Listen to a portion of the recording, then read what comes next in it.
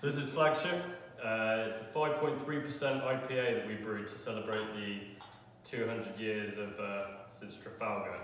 It's packed full of Admiral hops, and it's a really well balanced beer. You get the, the bitterness through quite a lot. And a lot of people say when they're walking around the brewery when we're brewing it, oh well that smells different, that smells different, and I think everybody's like, oh it's flagship. So uh, so cheers.